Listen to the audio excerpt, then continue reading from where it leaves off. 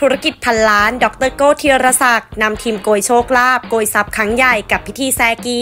นำโดยอาจารย์จุ้นไตรคุณ ผู้เชี่ยวชาญด้านศาสตร์แซกี พร้อมด้วยคุณก้องเกียรติ ผู้บริหารมังกรเศรษฐีและบริษัทแซกี 168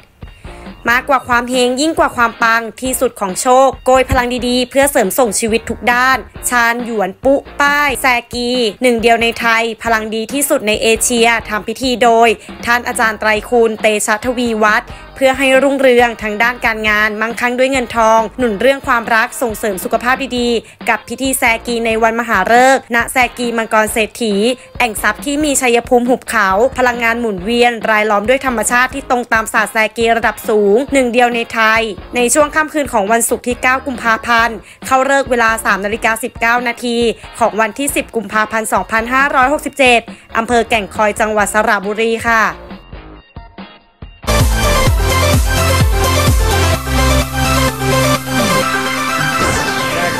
ับมันก็คือการเสริมดวงอย่างหนึ่ง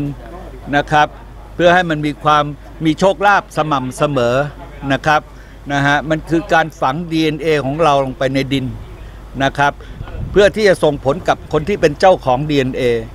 นะฮะมันจะถูกสื่อด้วยคาร์บอน 14 ที่ว่าตัวแบคทีเรียมันจะเข้าไปทำปฏิกิริยากับ DNA ที่อยู่ในดินนั่นแหละนะฮะถ้าเราอยู่ในสถานที่ดีอยู่ในชัยภูมิที่ดี แล้วก็อยู่ในองศาที่ดี และที่สำคัญคือถ้าเราอยู่ในเลิกยามที่ดีนะครับ คุณทำแล้วแทบจะเรียกว่าซัดเดนลี่เลยที่คุณจะได้เห็นอะไรดีๆอ่าใช่ครับ เพราะว่าจริง ๆแล้วเนี่ยนะครับถ้าคุณจะไปถามเรื่องเรื่องนี้กับคนที่คนคนที่มีมีตังค์อะนะฮะคนรวยทั้งหลายนะครับเขาไม่บอกคุณหรอกครับนะฮะ เขาไม่สร้างคู่แข่งนะครับบอกก่อนนะครับเพราะเรื่องนี้เนี่ยมันเป็นเรื่องที่จำกัดอยู่ในเฉพาะคนวงในนะครับ แต่เนื่องจากว่าผมผมผมอยากจะเผยแพร่ออกไปให้รู้ แล้วก็ที่สำคัญก็คือผมอยากสร้างนักธุรกิจใหม่ๆนะครับ แล้วผมอยากจะบีบนะฮะเรื่องของอช่องว่างนะฮะให้มันมี ให้มันมีชนชั้นกลางมากยิ่งขึ้นอะ ทุกวันนี้มันถูกทางออกทุกที ทุกที คนที่มีตังอะเขาก็จะทำแต่อย่างเงี้ยเขาไม่บอกคุณหรอก แล้วมันก็ถีบไอ้คนข้างล่างให้มันยิ่งห่างเข้าไปใหญ่เลย นี่คือสิ่งที่ผมว่ามันไม่ค่อยไม่ค่อยแฟร์เท่าไหร่ ผมอยากจะสร้างคนที่ชาเลนจ์นะครับ มีคนที่มาเอ่อเอ่อมีคนที่มาท้าชิงอยู่เรื่อยๆ มันจะได้แบบเออมันจะได้บีบเข้ามาให้ มันดีที่สุดนะครับ ให้มีชนชั้นกลางมากยิ่งขึ้นประเทศเราถึงจะดีนะครับแน่นอนนะครับนะฮะสังเกตให้ดีๆนะฮะนักธุรกิจที่ส่วนใหญ่ที่อยู่ในเมืองไทยอะสังเกตให้ดีๆนะฮะมันก็เป็นธุรกิจผูกขาดอย่างนั้นอะเออเห็นไหมฮะง่ายๆผูกขาดนะฮะเอ่อเราสร้างแซกีที่นี่ขึ้นมานะครับ ก็อยากให้เข้าถึงทุกคนนะครับปกติแซกีมันเป็นอะไรที่ต้องพูดกันหลักหลายแสนถึงหลักล้านนะครับ แต่วันเนี้ยพอผมได้เจออาจารย์แล้วเราก็มีโอกาสได้มาทำในที่ที่นี่นะครับ สถานที่ดีพลังดีแล้วก็ตั้งราคาตั้งอะไรต่างๆ ที่คนทั่วไปเข้าถึงได้นะครับ แล้ววันนี้ก็เป็นวันดีที่พิสูจน์ให้ทุกคนได้เห็นครับว่าการทำแซกีเนี่ยไม่ต้องใช้เงินเยอะนะครับ ก็สามารถที่จะปังแล้วก็เฮงเฮงได้นะครับใช่ครับวันนี้มันมีสี่เลิกด้วยกันอ๋อสี่เลิกที่มันซ้อนกันอยู่ค่ะแล้วก็เลิกที่สำคัญอันดับหนึ่งเลยงั้นคือเลิกเจ็ดดาวขโมยโชคนะฮะ เจ็ดดาวขโมยโชคในเกรดที่เป็นเรียกว่า A A บวกบวกบวกเลยนะครับ เพราะว่ามันเป็นการตีลังกาของขวยที่ผมยังไม่เคยเจอเลย แล้วก็พูดตรงๆว่ามีแค่เนี่ยนะฮะแล้วก็อีก 20 ปีหรืออีกยุคนี้ทั้งยุค ยุคเก้าทั้งยุคไม่มี นอกนั้นจะเป็นเจ็ดดาวขโมยโชคเกรดธรรมดา